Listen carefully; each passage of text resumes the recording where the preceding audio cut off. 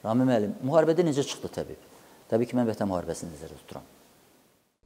Mircan müəllim, e, təbib komandası olaraq biz də Vətən müharibəsində əlimizdən gələn töhfəni verməyə çalışdıq.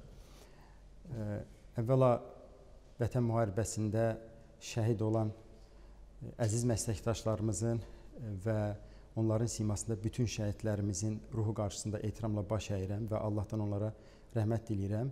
Şükürlər olsun ki, biz Müzəffər Ali Baş Komandanın rəhbərliyi altında bu gün artıq qələbəmizi qeyd edirik.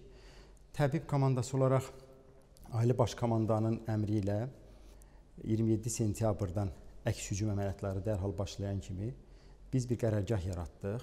Həmin qərargahın işini dərhal ə, Müdafiə Nazirliyimizin və digər güc strukturlarımızın müvafiq tibbi xidmət idarələri ilə koordinasiyalı şəkildə idarə etməyə başladıq. Həmin qərargahda tibbi təxliyə planı hazırlandı. Hərbi səhrə cərrahiyyəsinin öz prinsipləri var, öz qaydaları var, qanun uyğunluqları var. Onlara uyğun olaraq 3 mərhələli tibbi xidmət təşkil etmək lazım idi təcili olaraq. Bu müharibə miqyasına görə çox böyük miqyaslı müharibə idi və burada konvensional müharibə olduğuna görə müxtəlif iri çaplı silahlardan, artilleriyadan istifadə olunurdu. Həm mülki vətəndaşlarımız arasında, həm də hərbiçilər arasında multitravma dediyimiz e, çoxsaylı travmalar çox rast gəlinirdi. Burada tibbi xidmətin e, zamanında yetişdirilməsi, verilməsi çox önəmli idi. Ona görə də hərbi səhra cərrahiyyəsinin qanuna uyğunluqlarına görə təxliyə mərhələləri işlənilməli idi və bizim qərargahımız tərəfindən bu işlənildi və cəbhə xətti boyu bizim bütün tibb müəssisələrimiz bu məsələyə cəlb olundu. Tibb müəssisələrinin təbii ki, imkanları var. Reanimasyon xidmət baxımından, cərrahi xidmət baxımından, tibbi personal baxımından biz onların artıq təftiş eləmişdik. İcbari tibbi sığorta keçidlə əlaqədar həmin xəstəxanaların potensialını və infrastrukturunu bilirdik. Çox təcili şəkildə birinci, ikinci və üçüncü səviyyə tibb müəssisələri müəyyən edildi və bizlər təbibin rəhbər heyəti olaraq savaşın demək olar ki, səhəri günündən etibarən qərargahda bir hissəmiz qərargahda fəaliyyətini davam etdirdi, bir hissəmiz isə bölgədə olduq və bölgə xəstəxanalarında yerindəcə məsələlərin təşkilinə məşğul olduq. Bilirəm, mən görmüşəm o kadrları, harda ki siz döyüş xəttindəsiz, birbaşa hadisə rayonundasınız və yaralara yardım göstərirsiniz. Mən sizi deyəndə sizin həkimlərimizi nəzərdə tuturam ilk növbədə belə. Sizin özünüzü də mən görmüşəm orada, kadrlarda var bu. Bəli. Biz orada e, nəinki sadəcə e, öz müəssisələrimizdə, eyni zamanda hərbi deməli tibb idarələrinə məxsus olan tibb məntəqələrində də işin birgə qurulması və tam koordinasiyalı işini həyata keçirirdik. Ona görə burada artıq mərkəz bir mərkəzdən koordinasiya olunurdu bütün proses və biz nəyə nail ola bildik? Birinci növbədə mən buradan fürsətdən istifadə edib dəyərli həmkarlarımızın hər birinə dərin təşəkkürümü bildirirəm. Biz bölgədə olan kimi hansı qurumda çalışmasından asılı olmayaraq, istər özəl, istər dövlət, e, hamısı dərhal bizə müraciət etdi və bölgəyə gəldilər. Düşünün, radioloji xidmət çox önəmli idi. Bizim bölgədəki kompüter tomoqrafiya cihazlarını işlətmək və yüksək ixtisaslı həkimlərə ehtiyac var idi. Laborator xidməti olsun, bütün xidmətlər olsun. Yəni həmkarlarımız çox böyük fədakarlıq göstərdilər. Eyni zamanda e, xaricdən bizim e, dərnəklər var. Azərbaycanlı həkimlərin dərnəkləri var. Türkiyədə, Amerikada, Almaniyada. Onlarla biz bir video call elədik, video konfrans keçirdik. Hamısı arzularını ifadə etdilər gəlmək üçün çoxsaylı onlar tərəfindən tibbi ləvazimatlar və s. göndərilirdi, amma e, xüsusilə Türkiyədəki Azərbaycanlı Həkimlər Dərnəyinin e, çox israrlı müraciəti var idi və Heydər Əliyev fondunun dəstəyi ilə biz 50-yə e, yaxın həmkarımız xüsusi təyyarə ilə Azərbaycan Hava Yollarının təyyarəsi ilə və səfirliyimizin dəstəyi ilə buraya gəldilər. Onlar da bölgəyə ezam olundu.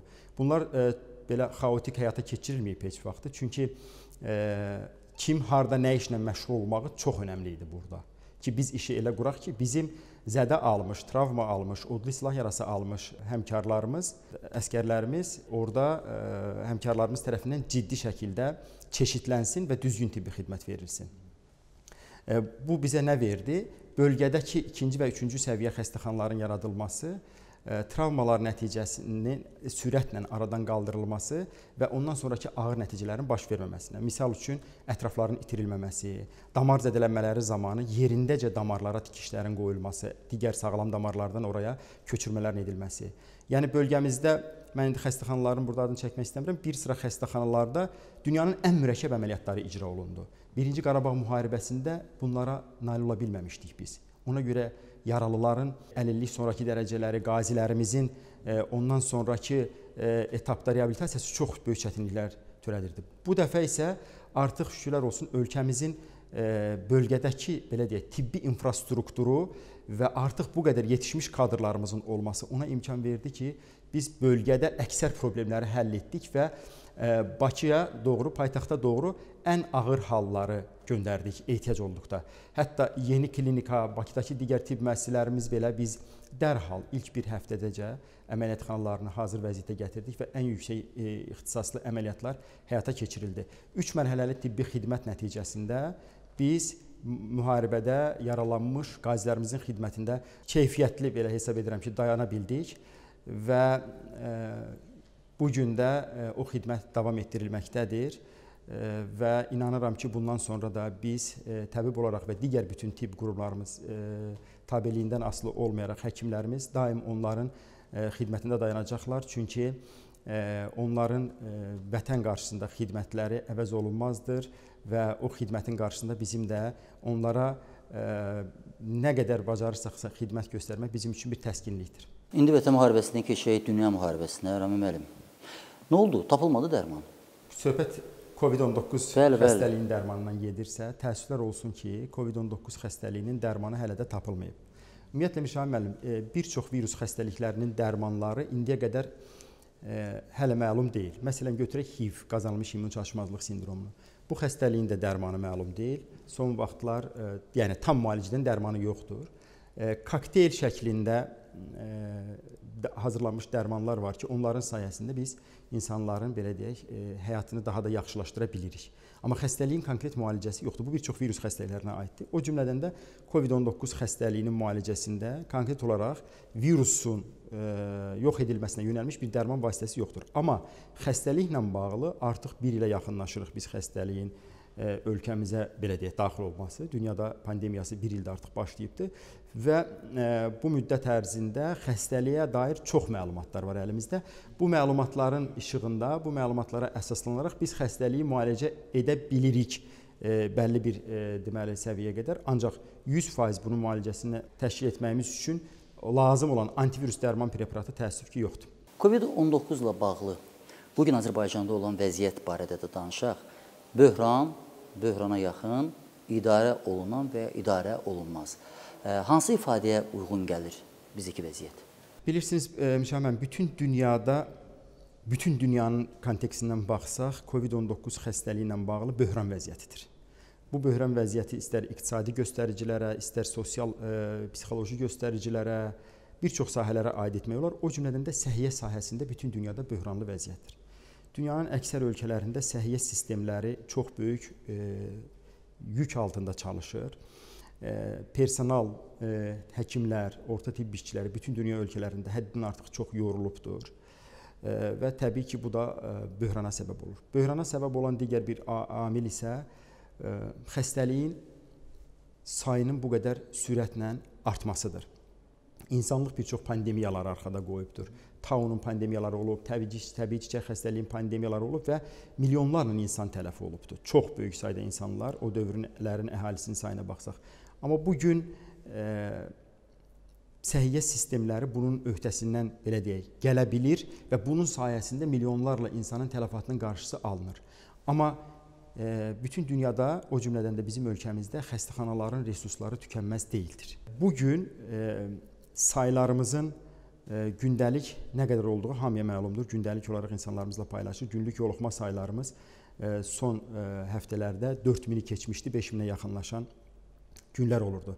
Belə olduğu təqdirdə təbii ki, səhiyyəmizin üzərinə çox böyük yük düşürdü.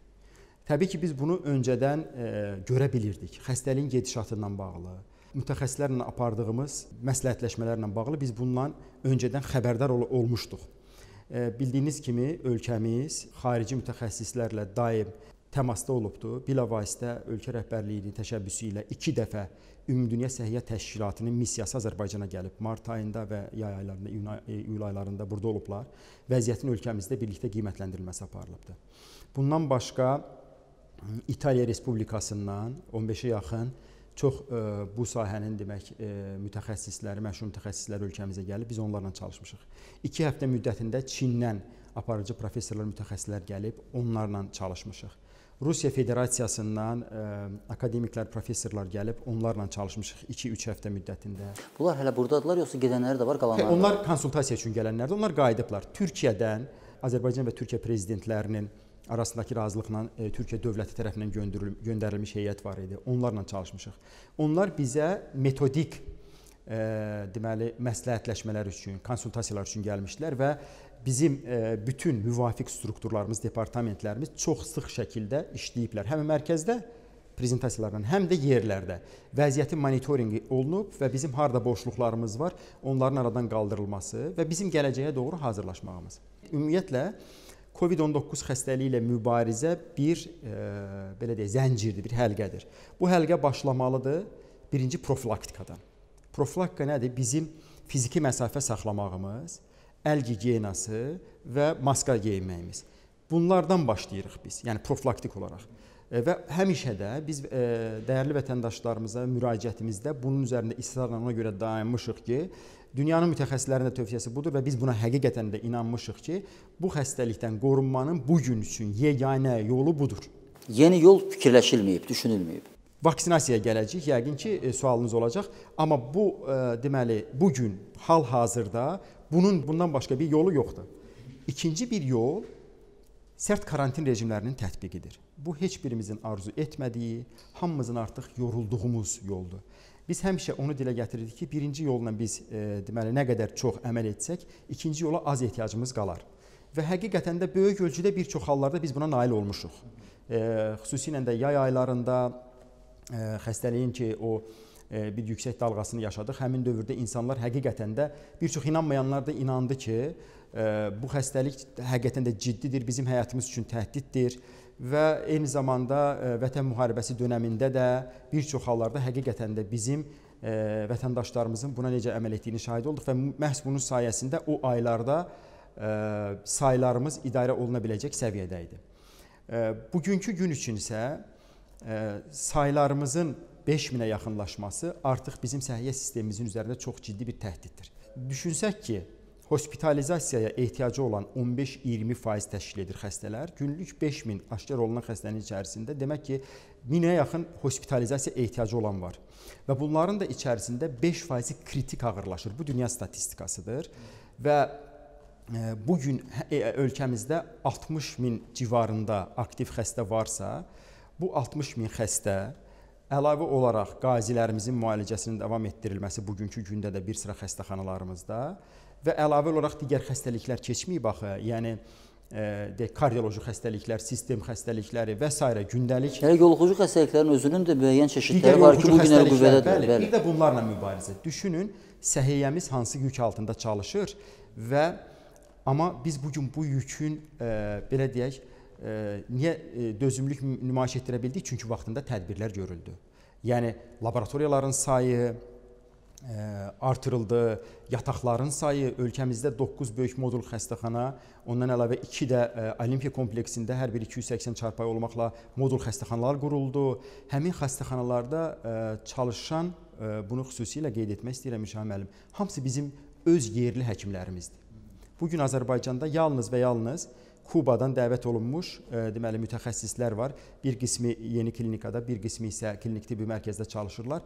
Digər bütün müəssisələrimizdə hal-hazırda öz mütəxəssislərimiz çalışırlar. Biz buna necə nail ola bildik bilirsinizmi? Təlim mərkəzləri yaratdıq.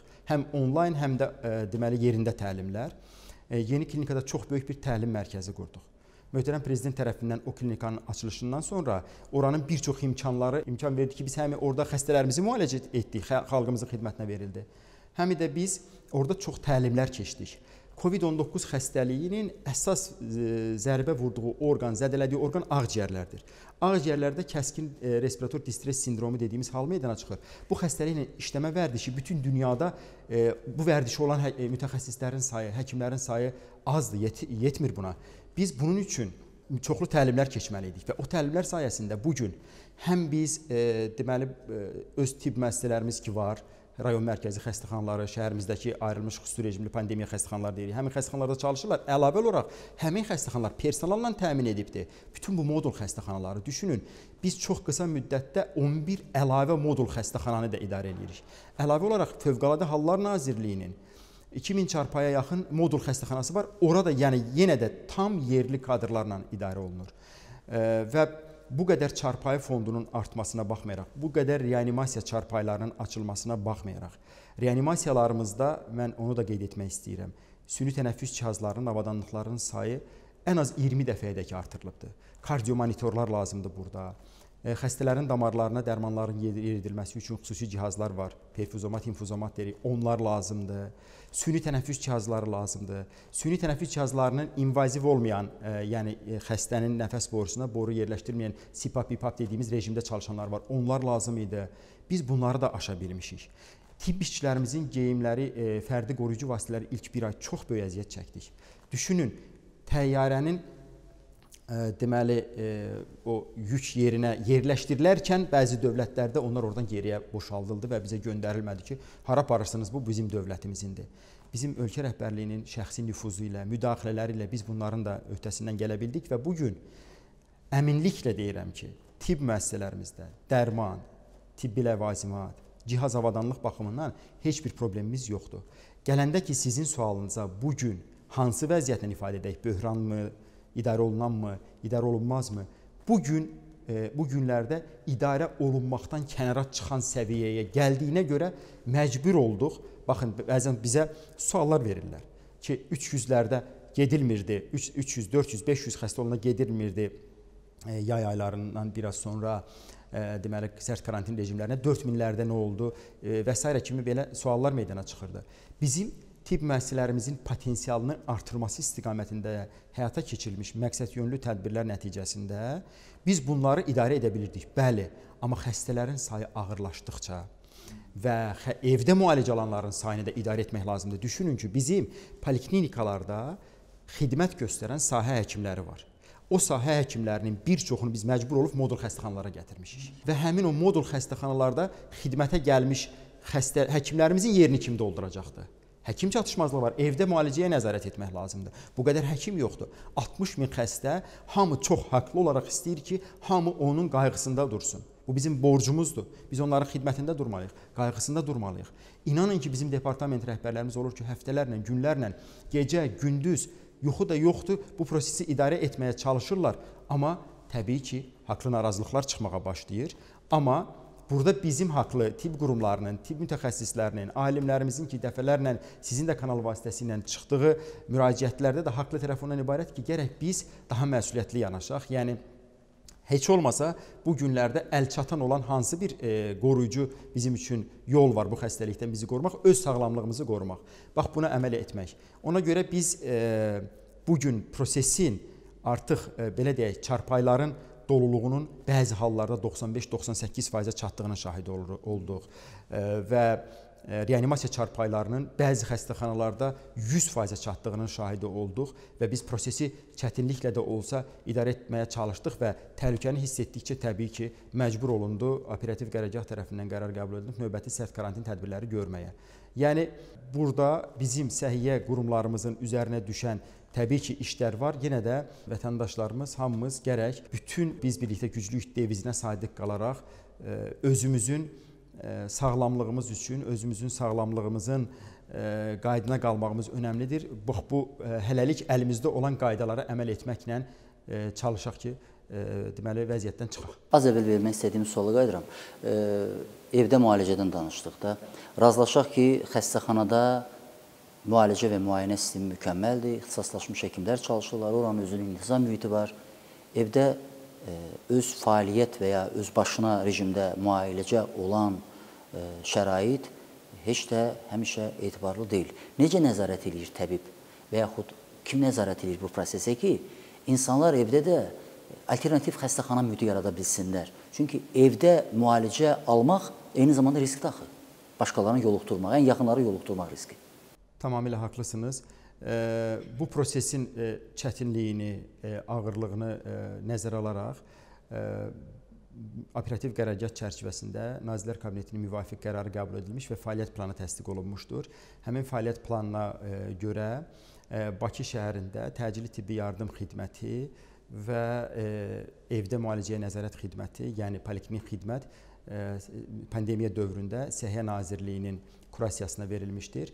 Rayonlarımızda Abşeron, Sumqayıt və digər rayonlarda isə evdə müalicəyə nəzarət, yəni poliklinik xidmət də təbib tərəfindən həyata keçirilir. Eyni zamanda stasionar xidmət həm Bakıda, həm bütün regionlarda təbib tərəfindən həyata keçirilir. Təbii ki, bir sıra ə, digər qurumlar da var. Tibb Universitetinin ə, deməli klinikaları, Gömrük Hospitalı, Fövqəladə Hallar Nazirliyinin modul hospitalı, onlarla da biz koordinasiyalı şəkildə çalışırıq. Ümumiyyətlə bütün səhiyyə qurumlarımız operativ qərargah çərçivəsində biz birlikdə ə, deməli koordinasiyalı şəkildə çalışırıq. Evdə müalicəyə nəzarətinin keyfiyyətli 100% hər yerdə gedişatına nail, nail ola bilmişikmi? Burada ə, e, təbii ki, problemlər var. Biz problemləri bilirik, görürük. Onlardan birinin obyektiv səbəbini artıq mən izah elədim. Həkimlərimizin poliklinik sahədə çalışacaq sahə həkimlərinin də e, personal çatışmazlığını kompensasiya edə bilmək üçün e, təlimlər keçərək stasionar xidmətə cəlb etməkdir. Ona görə də poliklinik xidmətin üzərinə böyük yük düşübdür və poliklinik sahədə, bu sahədə təcrübəsi olan, bu da çox önəmlidir. Yəni bu xəstələri idarə edə bilən deməli mütəxəssislər isə tam yenə də təlimlərə cəlb edildikdən sonra prosesə nəzarət etməyə cəlb olunublar və sistem elektronlaşdırılıbdır və maksimum dərəcədə çalışılır ki, buna nail olunsun.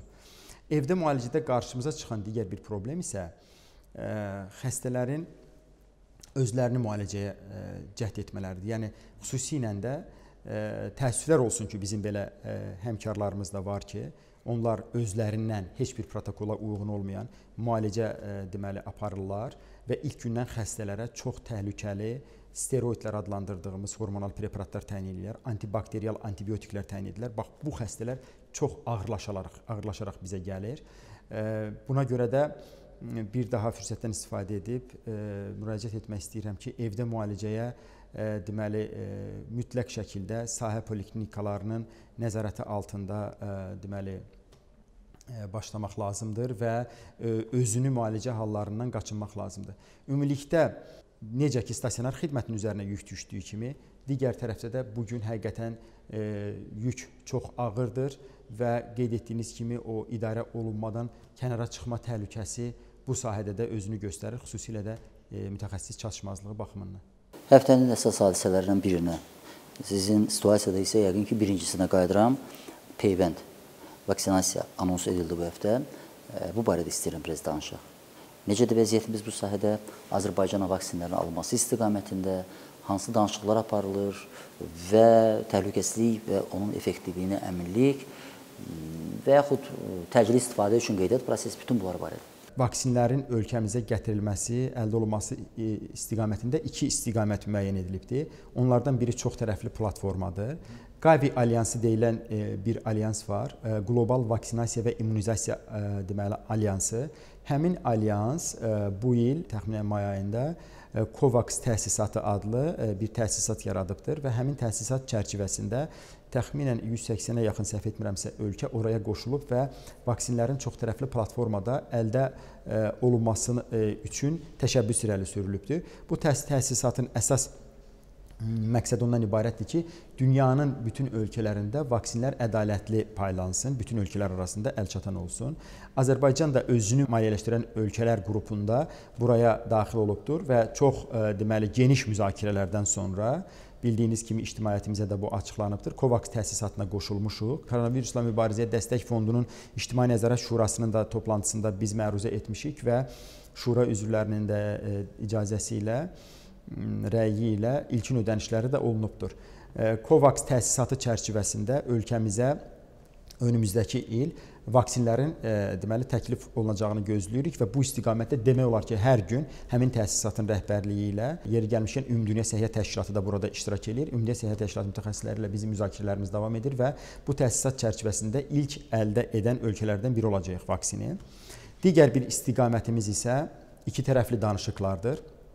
Bu gün bildiyiniz kimi e, təxminən 30-a yaxın e, vaksin tədqiqatçısının 7-8 vaksini ön plana çıxıbdı. Onların da e, 5-i e, e, daha ön plana çıxıbdı ki, 3-cü e, faza, klinik faza mərhələsinə e, daxil olubdur və biz də bunlarla e, bu bu e, deməli tədqiqatçıların belə deyək e, təmsil olunduğu şirkətlərlə daim ünsiyyətdəyik dövlət olaraq və ikitərəfli danışıqlarımız gedir. İstər bildiyiniz kimi Oxford Universitetində ə, deməli kəşf olunmuş AstraZeneca vaksini ilə bağlı, istər Qam Rusiyada ə, Gamaleya ə, institutunda tapılmış olan Sputnik V peyvəndi ilə bağlı, istər BioNTech Almaniya şirkətidir və Pfizer Amerika şirkəti birlikdə hazırladıkları deməli Pfizer BioNTech vaksini adlandırdığımız vaksinlərin alınması ilə bağlı, istər Amerika Birləşmiş Ştatları şirkəti olan Modernanın vaksinləri ilə bağlı, istərsə də Çinin deməli Sinovac şirkətinin vaksinləri ilə bağlı iki tərəfli danışıqlarımız davam etdirilir və bu gün də davam etdirilir və çox önəmli nəticələr də vardır. Və e, bu vaksinlərin əldə olunması e, ölkə rəhbəri tərəfindən də artıq e, elan olunduğu kimi önümüzdəki ilin yanvar ayından gözlənilir. Ə, üzərində çalışırıq bunun. Ə, dəqiq tarix məlum olan kimi ictimaiyyətə açıqlanacaqdır. Bizim üçün ən vacib meyar burada təhlükəsizlik meyarıdır. Bu meyara istinad edərək deməli biz həm effektivlik, həm də burada e, e, təhlükəsizlik önəmlidir. Bu meyara istinad edərək biz həmin vaksinin e, əldə olunmasına nail olacağıq və bunun üzərində demək olar ki, çox uğurlu, çox uğurlu nəticələr yaxınlarda ictimaiyyətimizə açıqlanacaqdır. İki tərəfli deməli əlaqələr çərçivəsində biz vaksinlərin əldə olunması istiqamətində qardaş Türkiyə Respublikası ilə də yaxın işbirliyi içərisindəyik. Türkiyə Respublikası inaktiv vaksinlər dediyimiz vaksinlərin alınmasına üstünlük vermək barədə qərar qəbul edib. Biz Türkiyə Səhiyyə Nazirliyi yanında elmi komitədə də görüşlər keçirdik. Onların deməli fikirlərini də aldıq və vaksinlərin əldə olunması orada belə müəyyən olunub. Birinci növbədə təhlükəsizlik meyarı. Burada da inaktiv vaksinlər ön plana çıxır. Bir də çox önəmli məqam budur, buna da diqqət yetirməliyik. Hər vaksin partiyası gələndən sonra onun yəni istehsal seriyası analizinə ehtiyac var. Vaksinlərin doğrudan da inaktivdirmi? Həmin vaksinlər sterildirmi? Yəni bakteriyalar və digər mikroorqanizmlərlə çirklənməsi yoxdur ki, vaksinlərin toksikliyi nə yerdədir? Yəni toksinlər yoxdur ki, onun içərisində. Homogenliyi necədir? İçərisində yardımçı maddələr olur peyvəndlərin. Həmin yardımçı maddələr həqiqətən də o deyildiyi maddələrdirmi? Bunlar üçün də e, Türkiyə Respublikasında bütün növ e, demək olar ki, laborator analiz şəraiti mövcuddur və bizim e, razılığımız belə oldu ki, bizim e, gələcəkdə əgər bizim əldə edəcəyimiz vaksində eyni vaksindən olacaqsa, həmin vaksinlər Türkiyədə bütün analizlərdən keçib və istifadəsinə artıq icazə verilən partiyadan olsun. Yəni bu da çox əhəmilidir. Biz artıq bu analizlərin bizim üçün kifayət qədər əlçatanlığı var və biz çox şəffaf şəkildə onların nəticələrini görə bilirik. Ona görə də bizə güvən verən və artıq təhlükəsizliyinə inandığımız bir vaksin olmalıdır. Cəmiyyət və səhiyyə nə qədər hazırdır bu vaksinasiya kampaniyasına? Əvvəla onu deyim ki, bizim ölkəmiz vaksinasiya baxımından dünyanın ən irəlidə olan ölkələrindən biridir. Yəni söhbət gedir planlı vaksinasiyadan. Yəni biz vaksinasiya e, vaksinasiya sayəsində çoxsaylı belə deyək xəstəliklərin ölkəmizdə ləğvinə nail ola bilən bir el cəmiyyətiyik və e, cəmiyyət olaraq hazırlığımız bunun e, nəticələrinə inanmaqdan keçir. Bu gün bu xəstəliyin acısını, ağrısını hamımız yaşayırıq. Cəmiyyət olaraq da, səhiyyə olaraq da və digər qurumlarımız olaraq da Deməli biz birinci inanmalıyıq bu vaksinə. Bizim də burada ə, e, hədəfimiz ondan ibarətdir ki, insanlarımız, vətəndaşlarımız buna inansınlar. Ə, e, təbii ki, ə, e, vaksinasiyaya dünyada ə, belə deyək də vaksin əleyhdarları hər zaman olubdur, amma tərəfdarları daha çoxdur. İnanmaqdan danışırıq. Siz özünüz şəxsən inanırsınız və vaksin vurduracaqsınız. Vurduracaqsınız hansı vaksindən? Bu sual mənə çox ünvanlanıb Mişan müəllim. E, sosial media üzərindən də baxıram ki, bu suallar ünvanlanır ki, özü vurduracaqmı? Bəli, mən vaksin mütləq vurduracağam e, vaksinin nəticəsinə inanıram. Bu inamı məndə tanıdığım e, dəyərli elm adamları və ümumiyyətlə vaksinasiyanın tarixi formalaşdırıbdır. Konkret olaraq COVID-19 əleyhinə vaksinə dair aparılan tədqiqatların nəticələri ki var. Bu da 3-cü faza tədqiqatlar bir çox istiqamətlər üzrə başa çatandan sonra paylaşılır mötəbər deməli e, dərgilərdə, jurnallarda və onlara istinad edərək mən inanıram və vaksin vurduracağam özümə mütləq. Valideynlərimə də, e, ailə üzvlərimə də bu vaksinin əgər vaksinasiya strategiyasına uyğun olaraq onlara düşəcəksə, onlara da vurduracağam. Hansı vaksinə gəlincə isə mən şəxsi qənaətimi deyirəm burada, inaktiv vaksindən istifadə edəcəm. Nə deməkdir o? Niyə mən inaktiv vaksin istifadə etmək arzusundayam? Çünki inaktiv vaksinlər artıq illərdir ki, sınaqdan çıxıbdır.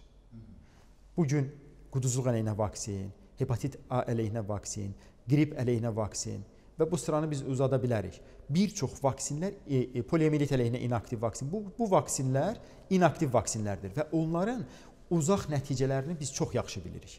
Elmə məlumdur və uzaq nəticələrində artıq biz illərdir, 100 illə yaxındır ki, biz bunu istifadə edirik və ciddi bir hər hansı patologiyanın şahidi olmamışıq. Digər hallarda isə immun cavab çox yaxşı nəticələr veribdir. Ancaq uzaq nəticələrinlə bağlı sual işarələri hələ də vardır. Bu istiqamətdə də tədqiqatlar aparılır. Əsla o vaksinlərin e, effektivliyini, təhlükəsizliyini kölgə altına e, salmaq kimi qiymətləndirilməməlidir bu. Ancaq daha çox əmin olmaq var.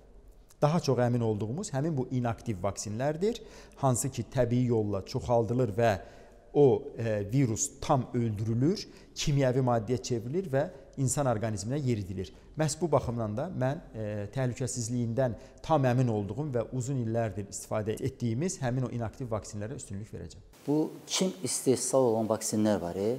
hansıları ki üzərində dayanmağa hazırlaşırıq. İnaktiv vaksindir o. Bəli, e, deməli Çin e, istehsalı olan e, vaksinlər inaktiv vaksinlərdir. Biz bütün vaksinlərin üzərində iki tərəfli danışıqlarımızda durmuşuq, dayanmışıq. Ancaq dediyimiz bir, bir sıra həm effektivlik, həm təhlükəsizlik meyarları və nəticələrin əlçatanlığı, təhlükəsizliklə bağlı nəticələrin əlçatanlığı bizim üçün çox əhəmilidir. Və burada bir məsələni xüsusi qeyd etmək istəyirəm ki, vaksinlərin əldə olunması istehsalı və dərmanların istehsalı arasında ciddi fərq var. Dərmanları istehsal etmək daha ə, e, rahatdır. Kəşfindən danışmıram. İstehsal etmək daha rahatdır. Vaksinlərin isə bu canlı orqanizmdən hazırlandığına görə çox xüsusi laboratoriyalara ehtiyac var. GMP sertifikatı deyilən dünyada sertifikat var. Həmin sertifikatı olan laboratoriyalar olmalıdır. Yüksək sertifikatları olan istehsal sahələri olmalıdır. Yəni bir vaksin e, ya olur ya olmur. Keyfiyyətli, keyfiyyətsiz deyə bir şey yoxdur. Və vaksin bu ölkənin vaksini, e, X ölkənin, ölkənin vaksini, Y ölkənin vaksini deyə sinifləndirilməməlidir, təsnif olunmamalıdır qəti surətdə. Vaksinlər varmı? 3-cü klinik faza tədqiqatları həyata keçirilibmi? Burada məsələ bitir. Hə, bir də onun uzaq nəticələri ilə bağlı qeyd etdiyimiz məsələ var. Orda tam əminlik formalaşırsa bizdə, deməli biz onun üzərində dururuq. Çox vacib bir yerə gəldik, çatdıq sizinlə. İnam, etimad məsələsi. Azərbaycana vaksinlər nə vaxt gətiriləcək? Bu sualı verirəm və eyni zamanda insanların bu prosesə etimadı üçün hansı tədbirləri planlaşdırırsınız? Vaksinasiyada e, e, ictimaiyyətin insanlarımızın inamı və etimadı çox önəmlidir. Ölkəmizdə vaksinasiya strategiyası hazırlanır. Vaksinasiya bir neçə mərhələdə həyata keçiriləcək. İndidən deyə bilərəm ki, birinci mərhələdə ən yüksək risk qrupu olan səhiyyə işçilərinin və 65 yaşdan yuxarı olan vətəndaşlarımızın vaksinasiyası nəzərdə tutulur. Sonra isə risk qrupuna görə deməli strategiyada bunlar hamısı müəyyən olunubdur. Strategiyada yer alan mühüm müddəalardan biri də vaksinlərə insanlarımızın inanması üçün, vətəndaşlarımızın inanması üçün tədbirlər planının həyata keçirilməsidir. Bu istiqamətdə biz vətəndaşlarımızla kifayət qədər şəffaf olacağıq. İki tərəfli tərəfdaş ölkələr ki, biz onlar bizdə yüksək inam doğurur. Onların nəticələrini biz paylaşacağıq və maarifləndirici çoxlu sayda deməli həm elektron, deməli həm də yazılı mediada materiallar hazırlanır və bunlar ictimaiyyətimizlə paylaşılacaq və biz əminik ki, biz özümüz başda olmaqla təbii ki, vətəndaşlarımız buna inanacaqlar və bu vaksinasiyadan inşallah keçəcəyik. Biz e, e, bircə şeyi e, insanlarımıza e, izah etməyə inandırmağa çalışacağıq ki, bu xəstəlikdən qurtulmağın, bax bu ağır pandemiya ilə yaşamaqdan qurtulmağın e, başqa çarəsi təəssüflər olsun ki, bu gün yoxdur. Ümumiyyətlə vaksin bahalı sayılır. Vaksinlərin qiymətləri müxtəlifdir. Müxtəlif iki tərəfli şirkətlərlə aparılan danışıqlardan bu bir doza üçün müxtəlif şirkətlərlə 6 dollardan bir doza üçün səhv etmirəmsə 35-40 dollara buna daha çox deməli maliyyə qurumları baxırlar. E, qiymətləri dəyişir bir doza yəni, üçün. Yəni bir sözün üçün soruşuram bunu Ramin müəllim. Ona görə ki, elə çıxmasın ki, bu qurumlar ki, bu proseslə məşğuldurlar, bu vaksinasiya prosesində iştirak edirlər, satırlar, tələb, təklif falan e, bu məsələlərdə tərəfdilər. Onlar altruist qurumlar deyil. Onlar pul qazanırlar və onu bizə satacaqlar. Bəli. Mən sualı ona gətirirəm ki, Azərbaycanda pulsuz olacaq vaksinasiya. Bəli, təbii ki. Dövlət isə bunu ödəyir. Yəni dövlət Bəli. Aha. Hansı məbləğdən təxminən gedir söhbət? Bəlli deyil. Azərbaycanda vaksinasiya ə, pulsuz olacaqdır və strategiyada yer alan bütün risk qruplarına ə, vaksinasiya ə, deməli pulsuz yerinə yetiriləcəkdir. Ə, məsələn, mən Türkiyənin əldə etdiyi 50 milyon doza üçün mətbuatdan əldə etdiyim e, təbii ki, e, rəqəm 11 dollardır. 11 dollara bir dozası əldə olunubdur. Təbii ki, burada e, daşınma və digər xərclər də buraya daxildirmi? E, bu barədə məlumatım yoxdur. E, dediyim kimi, müxtəlif şirkətlərin vaksinlərinin müxtəlif qiymətləri olduğu məlumdur. Biz hansını seçəcəyiksə də ictimaiyyətimizlə o da şəffaf bir şəkildə paylaşılacaqdır. Çox böyük məbləğdən gedir söhbət. Bəli, təbii ki. Böyük. Amma belə bir şey deyək, e, Mirşahin müəllim. E, bəzən belə bir teoriyalar irəli sürülür ki, virus e, vaksini satmaq üçün laboratoriyalarda Bəli, elə deyirlər. Elə bir söhbət var idi və mən də o sual verməyə hazırlaşırdım. Deməli, virus vaksini satmaq üçün laboratoriyada hazırlanırdı. Tutaq ki, bu sualın belə bir e, cavabını verəcəm. Özüm üçün bəzi qeydiyyatları e, almışdım. Bu sualın e, verəcəyinizi öncədən təxmin edə bilmişdim. Tutaq ki, yer kürəsində bu gün 7 milyard insan yaşayır. Bunların e, bildiyimiz Türkiyə tərəfindən alınan 11 dollar qiymətdən əgər alınmış olsa, bu 77 milyard edəcəkdir. E, 77 milyardın da əgər 2 do vaksinlər də bilirsiniz, 2 dozadan 2 e, doza immun cavabın yaranması üçün vurulur. 2 doza olduğu nəzərə alsaq, bu da 140 milyard eləyir. Yəni dünyadakı bütün insanları biz peyvənd etsək, 140 milyard dollar biz e, deməli onlara pul ödəməliyik. İndi gəlin biz düşünək dünya iqtisadiyyatına bu virusun vurduğu zərər 140 milyard dollarla ölçülə bilərmi? Trilyonlardan söhbət gedir. Trilyonlarla dünya iqtisadiyyatı, istər turizm sektoru, istər digər bütün sektorlar dünya iqtisadiyyatı zərər görüb. Ona görə o teoriyalar ki, vaksini satmaq üçün və s. üçün bunlar tamamilə Yox, belə bir söhbət yadınızdasa maska ətrafında da var idi. Bəli. Güya dünyada hansısa qurumlar öz maskalarını satmaqdan ötürü bunu fikirləşiblər. Təbii bu, bu Bəli. həmişə olacaq belə suallar. Amma bir sual da mənə çox belə maraqlı gəlir. E, könüllülük əsasında aparılacaq vaksinləşdirmə Azərbaycanda. Bəli. Amma axı peyvənddən imtina edən hər kəs potensial təhlükə mənbəyi olaraq qalır. Bunu necə izah etmək olar? E, Çox gözəl sual verirsiniz. E, Peyvənddən imtina edən hər kəsin yoluxdurucu yoluxduruculuq etimadının qalmasını inandıracağıq həmin şəxslərə. Hədəfimiz bundan ibarətdir. Dünyanın bir sıra ölkələri öz strategiyasında qoymağa hazırlaşırlar ki, bu məcbur olsun. Azərbaycan ictimaiyyətində indiyə qədər Azərbaycan səhiyyəsi vaksinasiyanı könüllülük əsasında aparıbdır və e, biraz əvvəl də qeyd etdiyim kimi bu kifayət qədər yüksək rəqəmlərdir. Yəni bizim cəmiyyətimizdə vaksinasiyaya övladlarını planlı vaksinasiyadan söhbət gedir. Vaksin etdirənlərin sayı e, kifayət qədər yüksəkdir. Biz insanlarımızı inandırmaqla, inamını qazanmaqla könüllülük əsasında e, inanırıq ki, e, deməli nail olacağıq ki, böyük əhali qruplarımız bu vaksinasiyadan keçsinlər. Və buna nail olmaq üçün də e, nə etmək lazımdır? İctimaiyyətimizi inandırmaq üçün ən şəffaf məlumatları onlarla paylaşmaq lazımdır ki, buna da hər kəs əmin ola bilər ki, bu məlumatlar paylaşılacaq və onların buna inanmaları üçün və öz sağlamlıq sağlamlığını, ailə üzvlərinin, böyüklərinin sağlamlığını, xəstə ailə üzvlərinin sağlamlığının e, keşiyində durmağın tək yolunun vaksinasiyadan keçməsinin olduğunu inandıracağıq. Vaksinasiyadan sonra yaranan immunitetin dayanıqlığı nə qədərdir? Xəstəliyə qarşı olan vaksindən sonra yaranacaq immunitetin dayanıqlığının nə qədər olacağı ilə bağlı yekun tədqiqat nəticəsi bu gün heç bir vaksinlə bağlı əlimizdə yoxdur. Məsələn, BioNTech şirkətinin yaradıcıları bilirsiniz, 2 nəfər türk alimdir, uzun müddətdir Almaniyada yaşayan. Onlar öz peyvəndlərinin dayanıqlılığının 5 ilə qədər olacağını bildiriblər. Əksər alimlərin fikri budur ki, ən azı 1 il gözləyirik. Ən azı 1 il. Bu periodda ola bilsin ki, virus mutasiya uğrayaraq həyatımızdan çıxdı. Ola da bilsin ki, mövsümi qrip xəstəliyi kimi ildə bir dəfə vaksinasiyaya ehtiyac yarandı. Yəni bu e, vaksinasiyadan sonra yaşayıb görəcəyimiz e, belə deyək nəticədir e, və bunun üçün tədqiqatlar hələ davam etdirilməlidir. Hı -hı. Tutaq ki, mən peyvənd etdirdim və gəldim Britaniyaya. Britaniyada hardan biləcəklər ki, mən peyvənd etdirmişəm? O hardasa qeyd olunacaqmı məndə?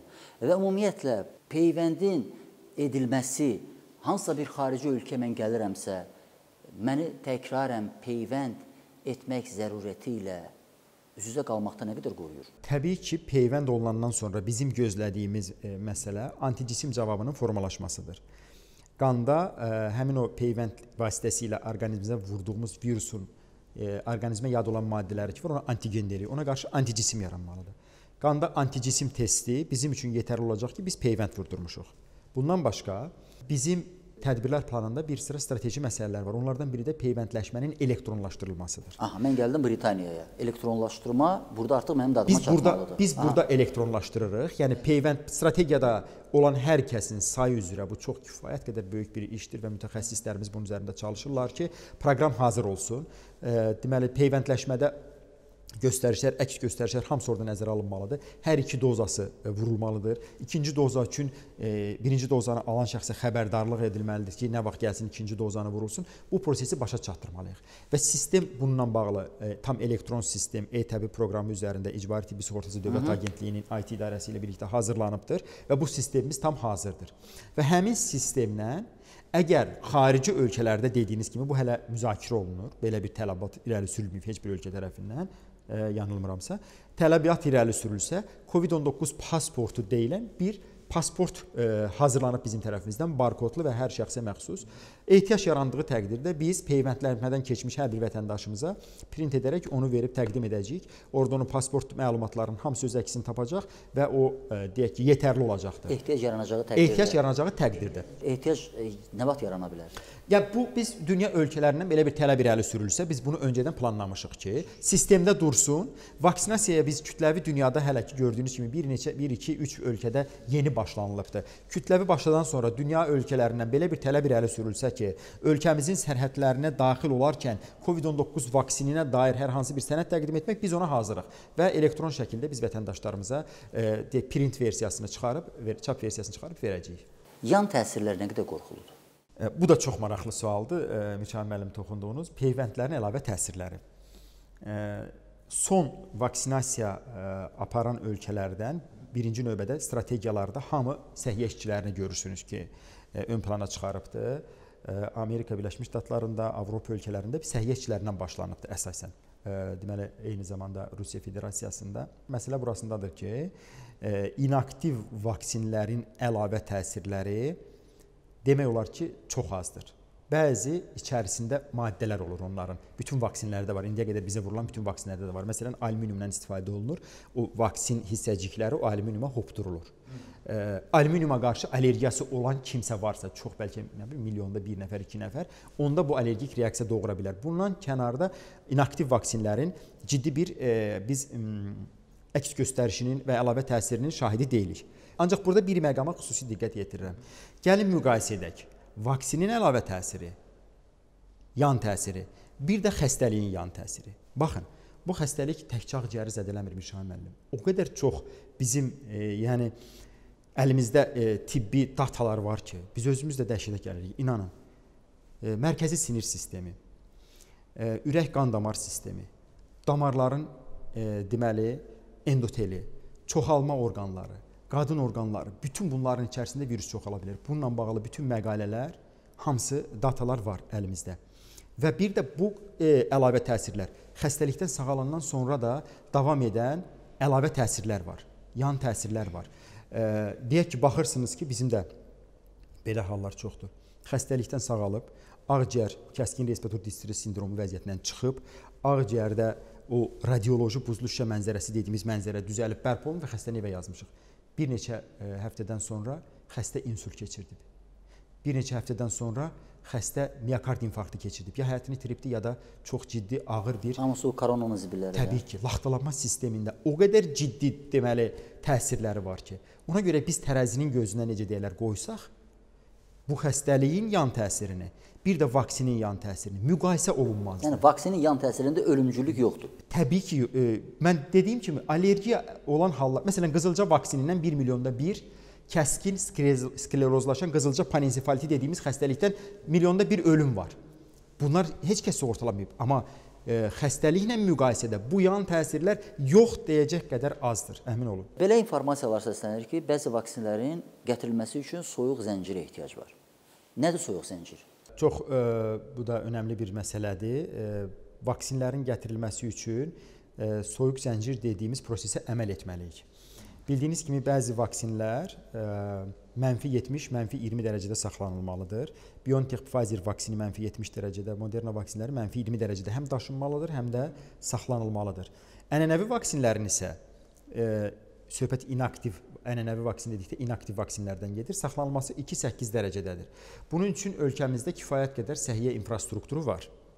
E, və çünki indiyə qədər istifadə olunan vaksinlər bu temperatur dərəcəsində olubdur və e, bizim tibb müəssisələrimizdə bu infrastrukturla təchiz olunubdur.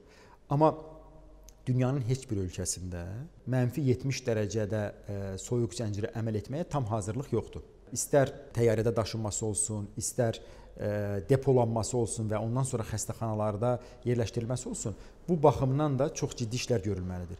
Ölkəmizdə bu istiqamətdə də səhiyyə müəssisələrinin deməli infrastrukturu öyrənilibdir və mənfi 70 dərəcənin əgər bizim COVAX təsisatı çərçivəsində o vaksini əldə edəcək olsaq, təmin olunması ilə bağlı da müvafiq işlər görülməkdədir. Yəni bizdə o problem yoxdur da, bizə 70 dərəcə e, temperaturda bütün o prosesi icra eləmə imkanı var. Bəli, mənfi 70 dərəcəni nəinki bizim ölkədə, dünyanın əksər ölkələrində bu yoxdur. Bunun üçün də biz e, UNICEF-lə birlikdə e, deməli tədbirlər planı işləyib hazırlamışıq və bunun təmin və təchiz olunması üçün bütün e, infrastruktur tədbirləri davam etdirilir. Bayaqlara biz danışdıq vaksinin qiymətindən və məlum oldu ki, bu kifayət qədər bahalı həzdir.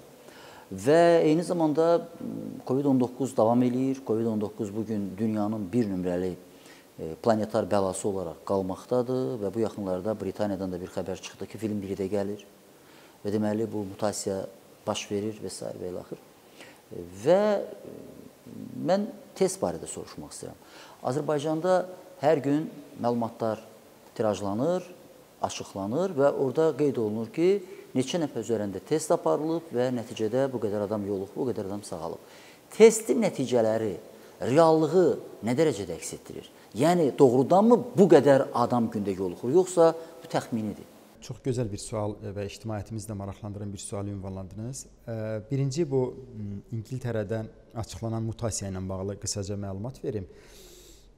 Oradan verilən məlumata görə İngiltərəli alimlər virusun genetik analizini aparıblar. Sekvenləşdirmə dediyimiz bir metod var, həmin metodla və genetik ardıcıllığına baxarkən məlum olub ki, insanın hüceyrəsinə e, virusu yapışdıran zülalı, zülalı kodlayan genlərdə mutasiya olubdur. Nədir mutasiya? Dəyişiklik baş veribdir.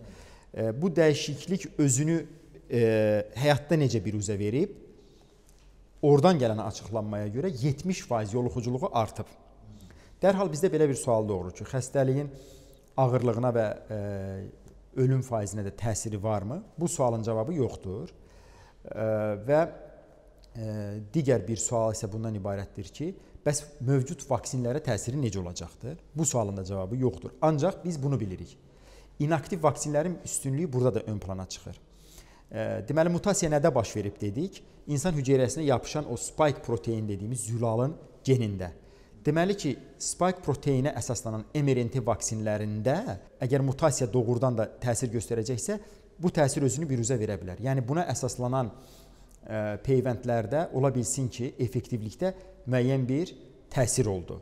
Ancaq bunu aradan qaldırmaq üçün bəlli bir zamana ehtiyac yaranacaq. Yəni mutasiyaya uğramış yeni ştamın az öncə dedik fotokopiyası çəkilib təzədəndən hazırlanacaqdır. Artıq prof, ə, profil məlum olduğuna görə bu uzun çəkməz. Amma inaktiv vaksinlərdə isə Artıq ə, deməli ə, bilirik ki, təkcə o bir antigendən ibarət deyil. Bütövlükdə virus inaktivləşdiyinə görə və bütövlükdə virusun digər antigenlərinə qarşı da immun cavabı alındığına görə inaktiv vaksinlərin qoruyuculuğu mutasiya olsa belə daha yaxşı qalacaqdır. Gələk test məsələsinə. Koronavirus xəstəliyinin diaqnozu hansı metodla qoyulur? Burdan başlamaq lazımdır məs məsələyə. Bu günlər bu günlərdə hal-hazırda təəssüflər olsun ki, əlimizdəki yeganə tutarlı, düzgün diaqnoz metodu PCR üsulu dediyimiz polimerazalı zəncirvari reaksiyadır bunun açıqlaması. PCR üsulu dediyimiz üsuldur. Bu molekulyar genetik diaqnoz metodudur. PCR üsulu çox çətin bir e, üsuldur. E, bu metodla analiz etmək. Fevral ayında ölkəmizdə xəstəlik aşkar olunanda bizim cəmi 5-6 belə laboratoriyamız var idi. Mirşah müəllim, bu laboratoriyalar kifayət qədər mürəkkəb laboratoriyalardır. Mürəkkəb havalandırma sistemləri olmalıdır. Bu laboratoriyalarda işləyən tibbi personal kifayət qədər təcrübəli olmalıdır. Onlar özlərini qorumalıdırlar. Çünki düşünün, bizim əsnəkdən, burun udlaqdan alınmış patoloji materiallar deyirik. Biz o selikli qişədən alınmış material ki, hansı ki özündə virus ehtiva edir həmin o materiallarla bilavasitə ağzını e, probirkaların e, sınaq şüşələrini açırlar və oradan e, deməli materialı çıxararaq ondan işləyirlər. Onların həyatı üçün təhlükə yarana bilər. Birinci təhlükəsizlik. İkinci, o mürəkkəb diaqnostik metodları onlara öyrətmək lazımdır. Çox böyük bir təlimlər e, e, ilə biz nail ola bildik ki, laboratoriyalarımızda bu gün 50-yə e, yaxınlaşır laboratoriyaların sayı. Bu ölkəmizdə bu laboratoriyalarda işləyən personal yetişsin. Bir də 24 saat fasilə deməli fasiləsiz bir çox laboratoriyaların 24 saat fasiləsiz rejimdə çalışa bilməsi üçün bu personal çünki çox yorulur. Xüsusi geyimlərdə və s. əvəz edə bilmələri üçün biri-birini. Və bu laboratoriyaların gətirilib ölkəmizə quraşdırılması. Ölkəmizin iqtisadi gücü hesabına, Heydər Əliyev fondunun e, dəstəyi hesabına biz qısa müddətdə buna nail ola bildik. Ölkəmizdə bu gün e, iki qrup PCR laboratoriyaları qurulubdur. Onlardan biri e, əsasən təbib tabeliyində olan laboratoriyalarda tam avtomatlaşdırılmış laboratoriyalardır. Avtomatlaşdırılmış PCR laboratoriyaları, bir də yarım avtomatlaşdırılmış. Bütün dünyada da hər iki praktikadan istifadə olunur. Bu gün e, ölkəmizdə 2 milyona yaxın test icra olunubdur. PCR testi dövlətimiz tərəfindən və gündəlik bizim test e, etmə qabiliyyətimiz 20 minə yaxındır. Bu 200-lərdə, 300-lərdə idi fevral-mart aylarında. Deməli, hal-hazırda 20 minə yaxın testi biz edə bilirik. Və dünya ölkələrinin test statistikasına da fikir versək görərik ki, Azərbaycan Respublikası bütün bu dövrdə ən çox test ödə edən ölkələrdən biri olubdur. Və bu test tam ödənişsiz və Ümumdünya Səhiyyə Təşkilatının missiyasının ölkəmizdə olduğu zaman bizə et, e, verdiyi tövsiyələr əsasında verdiyi kriteriyalara uyğun olaraq aparılır. Digər koronavirus xəstəliyinin diaqnostikasında bəzən bu səhv salınır. Buna e, burada bir aydınlıq gətirmək istəyirəm. İstifadə olunan diaqnostik metod qandan aparılan seroloji testdir. Birinci testdə nümunə e, üçün deməli burun udlaqdan, burun yollarından götürülən material üzərində işlənilir. Bunun qanla aidiyyatı yoxdur bu testin və koronavirus xəstəliyini təsdiq edən yeganə diaqnoz üsuludur. Bəs qanda hansı testlərə baxmaq olar?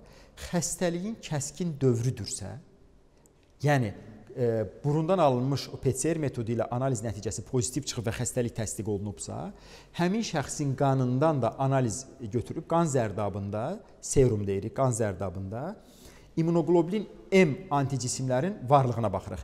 Xəstəliyin kəskin dövründə yaranan anticismlərdir.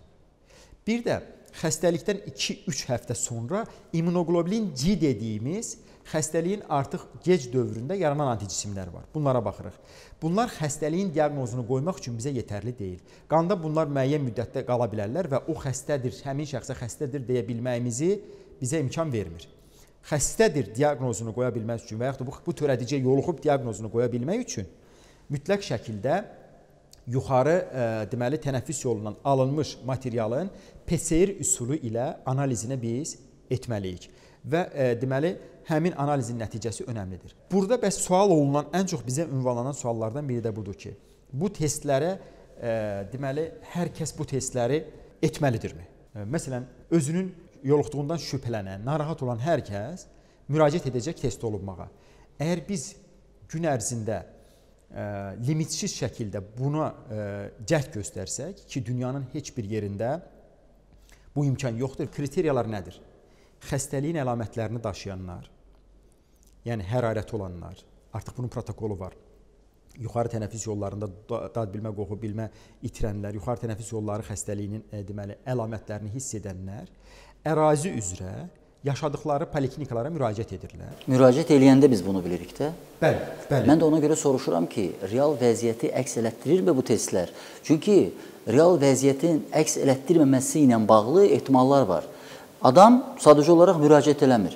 Bunun ümumiyyətlə bir mexanizmi düşünülüb tapılmayıbmı ki, e, mümkün qədər bu planetar bəladan daha çox sığortalanar? Nişan müəllim, hər kəs birinci öz sağlamlığının qeydinə qalmalıdır. Əgər bir insan hərarəti ən önə çıxan e, hal-hazırda simptom, e, əlamət hərarəti, bədən temperaturunun yüksəlməsidir.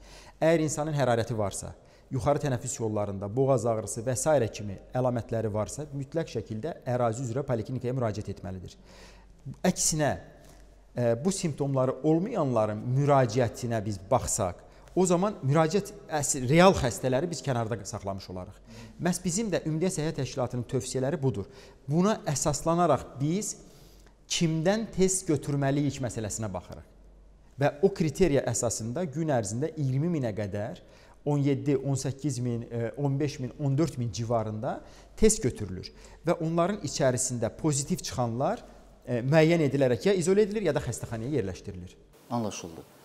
Amma mən e, sualıma cavab almadım ki, real vəziyyəti əks elətdirir ya yox. Analizlərin cavabı e, neqativ çıxanda və bir sıra hallarda PCR analizlərinin cavabı neqativ çıxır. Bu şəxs e, xəstədirmi, ya xəstə deyilmi? Ümumiyyətlə e, analizlərin həssaslığı və spesifikliyi dediyən deyilən göstərici var. Bəzi hallarda PCR analizləri 80%, 70% deməli e, həssaslığa və spesifikliyə malik olur. Ona görə də analizin sadəcə cavabı bizim üçün yetərsiz qalır. Yəni e, əgər simptomlar davam edirsə, xüsusilə də xəstəliyin gecikdirilmiş hallarında radioloji müayinələrə və digər müayinə metodlarına ehtiyac yarana bilər. Bir də ən çox ünvanlanan suallardan biri də budur ki, bu gün analiz etdirdim. Analizin nəticəsi e, pozitiv çıxdı. Sabah analiz etdirdim, neqativ çıxdı. Necə olur bu? Bunun nədir izahı? Burada bir sıra məsələlər çıxır meydana. Bu bütün dünyada, bütün səhiyyənin ən çox rastlaşdığı problemlərdən biridir. Birincisi, xəstəliyin elkə, elə mərhələsidir ki, artıq e, yuxarı tənəffüs yollarında proses silinir və aşağı tənəffüs yollarına keçir. Bu bir. İkincisi, ikinci dəfə material düzgün götürülməyib. Yəni daha dərindən udlaqdan götürülməyibdir. Və s. kimi bu siyahını uzada bilərik. Ona görə də Burada e, Ümumdünya Səhiyyə Təşkilatının və e, digər mötəbər tibbi qurumların tövsiyəsi nədir? Pozitiv çıxandan sonra biz də bu tövsiyələrə əməl etmək məcburiyyətindəyik. 14 günlük izolyasiyaya getmək. E, və yanaşı klinik simptomlara fikir vermək. Yəni deməli xəstənin müalicəsi üçün digər simptomlara fikir verməliyik. Amma hər ehtimala qarşı bu xəstənin, bu pozitiv çıxan şəxsin başqaları üçün yoluxdurucu olmaması üçün 14 günlük izolyasiya tədbirlərinə getmək. Təbii ki, laborator analizlərdə baş verən xətalar da nəzərə alınmalıdır. Müəyyən bir e, deməli nisbətdə analizlərdə xətalar da ola bilər. Ona görə də analizlərin bu gün fərqli, sabah fərqli çıxması bütün e, dünya praktikasında rast gəlinən və ən çox narahat edici məsələlərdən biridir. Test dövlətə neçə başa gəlir? Ümumiyyətlə biz onu hardan alırıq, neçə alırıq? Bu məlumatlar açıqdırmı? Bunu demək olurmu? Bütün bu e, məlumatlar üçün e, bizim e, deməli operativ qərargahın e, deməli nəzdində fəaliyyət göstərən satın alma heyəti var. Onlar tərəfindən deməli İqtisadiyyat Nazirliyinin də çox ciddi nəzarəti altında bunlar alınırlar, gətirilir ölkəmizə. Müxtəlif şirkətlərdən alınır. Əksəriyyəti Avropanın deməli istehsalıdır. Bir qismi Türkiyə Respublikasında və digər ölkələrdə istehsal olunan deməli reaktivlərdir. Reaktivlərin qiyməti neçəyədir? Evet. Az öncə qeyd etdim ki, analizlərin istifadə olunan reaktivlərindən asılı olaraq, daha doğrusu metodlarından asılı olaraq avtomat və yarımavtomat sistemlər var. Avtomat sistemlərdə biraz daha bahalıdır reaktivlərin qiyməti və bu təxminən səhv etmirəmsə, bizim Azərbaycan manatından desək, 20-50 manat arasında dəyişir. Analizlərin seçilən metodundan asılı olaraq. Orta hesabla bir test reaktivi 30 manata təxminən başa gəlir Əgər biz bunun üzərinə nəzərə alsaq ki, burada çalışan əməkdaşlara da onlara 4 qat dövlət əmək haqqına əlavə verir, onun da nəzərə alsaq və digər sadəcə reaktivdən ibarət deyil bu analiz. Digər bütün vasitələri də nəzərə yəni, alsaq, bir təxminən bir 40 manat civarında təsəvvür eləyin ki, dövlət bir günə bir testdə vəsait xərcləyir. İndiyə qədər gün, gündəlik bizim 15-20 min test etdiyimizi nəzərə alaq və indiyə qədər 2 milyona qədər də test etdiyimizi nəzərə alsaq, yəqin ki, rəqəmlər görünür ki, dövlətimiz hansı deməli e, vəsaiti xərcləyibdi. Bir də bu testlərin icra olunduğu e, deməli laboratoriyalar. Naxçıvan Muxtar Respublikasından tutmuş Azərbaycanın bütün bölgələrində bu PCR laboratoriyaları bu qədər sayda yox idi. Və 40-dan e, çox laboratoriyanın yenidən tə, yeni təşkil olunması, cihaz avadanlığının gətirilməsi, təlim prosesi bu da vəsaitin başqa bir hissəsidir. E, ona görə e, kifayət qədər vətəndaşlarımızın deməli sağlamlığının keşiyində durmaq üçün bu laboratoriyaların bizim üçün önəmi, əhəmiyyəti böyükdür, amma kifayət qədər çətin və necə deyirlər, böyük maddi yükü olan bir prosesdir. Amma eyni zamanda bu qiymətlərin tənzimlənməsi ilə də yəqin ki, məşğul olmaq lazımdır. Müvafiq qurumlar gərək buna baxsın, çünki sadaladığınız qiymətlə istehlakçının, pasiyentin ödədiyi məbləğ arasında fərq var. Onu necə nəzarətə saxlamaq olar? Birincisi dünyanın hər yerində ə, e, dövlətin müəyyən etdiyi E, kriteriyalar var. Bu da dövlət hər bir dövlət Ümumdünya Səhiyyə Təşkilatının kriteriyalarına əməl etmək məcburiyyətindədir. Həmin kriteriyalara daxil olan hər kəsə pulsuz aparılır bu analiz. Tam ödənişsiz. Amma insanlar var ki, xarici ölkələrə səfərə gedəcəklər. İnsanlar var ki, heç bir simptomu olmadan özlərini profilaktik müayinə etdirmək istəyirlər. Onlar analiz verirlər. Türkiyədə orada nümunə çəkə bilərəm. Mən bu sualı ünvanladım. 50-yə yaxın özəl klinikada və laboratoriyalarda bu testlər aparılır müxtəlif qiymətlər var. Sual yönləndirdim ki, bu qiymətlər mərkəzi qaydada tənzimlənirmi? Xeyr. Müxtəlif qiymətlər var. Mən 100 e, liradan 800 liraya qədər analizlərin aparıldığı yerləri müəyyən etdim. Nəzərə alsaq ki, e, Türkiyə Cümhuriyyətinin özü yarımavtomat sistemlər üçün reaktivləri istehsal edən ölkədir. Bir sıra Avropa ölkələrində də bu qiymətlərə maraqlanmaq olar neçəyədir. Və bunların tənzimlənməsi ilə ümumiyyətlə özəl sektorda qiymətlərin tənzimlənməsi ilə biz məşğul olmuruq, qəti surətdə məşğul olmuruq və e, bununla məşğul olan hansısa bir qurum varmı? Bunu da bilmirəm. Çünki e, bu gün özəl səhiyyə sektorunda e, qiymət tənzimlənməsi hesab edirəm ki, hələ də həyata keçirilmir. Düzdür, dərmanların qiymətlərinin tənzimlənməsinə bağlı tarif şurası var, amma bildiyim qədərilə tarif tarif şurası bu qiymətlərin tənzimlənməsinə məşğul olmur. Yeri gəlmişkən təbib olaraq bizim əsas məqsədimiz yarananda onu da qeyd edeyim ki, təbib yarananda cəmi bizim 25 nəfər əməkdaşımız var idi, pandemiya başladı. Biz 25 nəfərlə yola çıxdıq və biz yəni mərkəzi icra aparatına əməkdaşları paralelində qəbul edib təcrübə əməkdaşları toplayıb bir də bu pandemiya ilə mübarizə aparmağa başlamışıq. Amma bizim əsas məqsədimiz nə idi? Ölkədə icbari tibbi sığortanın tətbiqi xəstəxanalarımızı bu səviyyəyə hazırlamaq. Təəssüflər olsun ki, burada bir çox məsələlər təxirə düşdü və biz yarımçı qaldı. Bizim birinci müsahibəmiz o proseslərin elə bəli. qaynar vaxtına təsadüf bəli, bəli. edir. Təbii e, yeni-yeni formalaşır, icbari sığorta yeni-yeni formalaşır. Bəli, bəli. Tam da o dövrdə biz təəssüflər olsun ki, başladıq və çətin dövrlərdən keçirik. İcbari tibbi sığorta çərçivəsində xidmətlər zərfinin artıq qiymətləri Nazirlər Kabineti tərəfindən təsdiq olunubdur. İcbari tibbi sığortanın xidmətlər zərfinə daxil olmayan qiymətlərin necə olmalıdır qiymətləri? Bunların tənzimlənməsi ilə bağlı biz məsələləri daim müzakirəyə çıxarmışıq. Gələcək zamanlarda e, bunların da e, məsələləri yəqin ki, gündəmə gələcəkdir. Amma bu gün təəssüflər olsun ki, bizim hər hansı bir özəl tibb müəssisəsinin e, müəyyən etdiyi qiymətlərə müdaxilə edib etmək kimi belə bir imkanımız yoxdur və bunu bazar özü formalaşdırır. Dünyanın bütün ölkələrində də bu qiymətlər dəyişir. Və nəhayət sonuncu sualım bizim hörmətli tamaşaçılarımıza sizin deyəcəyiniz bir növ imkan var, tribuna var, platforma var, müraciətiniz. Təşəkkür edirəm e, Mirşahin müəllim belə bir e, şansı bizə yaratdığınız üçün. Onu qeyd edeyim ki, xəstəliyin e, pik dövrlərində bizim biraz əvvəl də qeyd etdiyim xəstəxanalarımızın bəzilərində 95-98% doluluğun şahid olduq. Bəzi regionlarımızda biz ehtiyatda olan bütün yataqlarımızı cəlb etdik. Düşünün ki, pandemiya ilə mübarizəyə ayrılmış xüsusi rejimli xəstəxananın mütləq şəkildə birinci şərti oksigen təchizatının olmasıdır. Yəni bütün yataq başında oksigen olmalıdır. xəstə monitorları olmalıdır, digər avadanlıqlar olmalıdır. Bunları təmin etməlisiniz. Yataq başında oksigen xəttini təmin etsəniz belə, o oksigen sərfiyyatı indiyə qədər heç vaxt rast gəlmədiyimiz dərəcədədir. Ölkədəki mövcud olan bütün oksigen istehsal edən zavodları tam gücü ilə işləyir. Demək olar ki, fasiləsiz. Əlavə zavodlar cəlb olunubdur. Tibb müəssisələrimizə çoxlu sayda oksigen generatorları alınıb gətirilibdir. Oksigen generatorlarının bir çoxu o qədər fasiləsiz işlədilər ki, sıradan çıxdılar. Onların texniki servis üçün xaricdən mütəxəssislər dəvət etdik. Çox deməli ağır e, hallar yaşayırıq bununla bağlı. Balonları çatdırmaq e, bir sıra regionlarda oksigen zavodları yaxında yoxdur. Həmin tibb müəssisəsi generatorla təchiz olunmayıb, oksigen balonları e, deməli təchiz etməliyik. Digər bir seçimimiz maye oksigen çənləri əldə etmək, onlarla təmin etmək idi. Yəni burada sadalasam bu siyahı çox uzana bilər istər mütəxəssislərin təlimi, istər dərman vasitələrindən təchizat logistik baxımından yerlərə çatdırmaq. Mərkəzi depoda var. Siz bunu vaxtında xəstəxanalara çatdırmalısınız və prosesi idarə etməlisiniz. Heç vaxt bu qədər sayda xəstə xəstəxanalarımızda olmayıbdı. Bütün bunları nəzərə alaraq xəstəliyin pik dövründə təbii ki, biz çox böyük çətinliklər yaşadıq.